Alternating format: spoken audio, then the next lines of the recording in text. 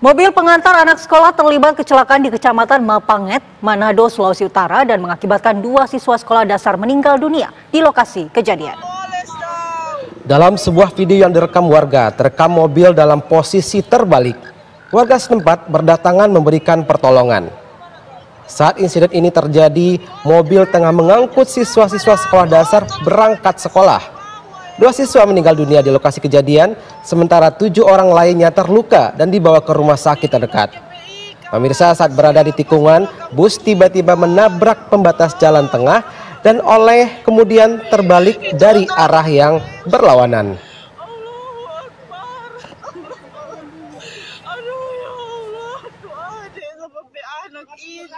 Dari informasi dari Polsek ada Jadi 801 bersama unsur mapangan meluncur kemari. Jadi untuk korban tadi ada keperkiraan ada dua Kang Pak Billy. Dua, Ada dua korban meninggal. Untuk korban itu yang kemungkinan 810 meninggal ada dua itu.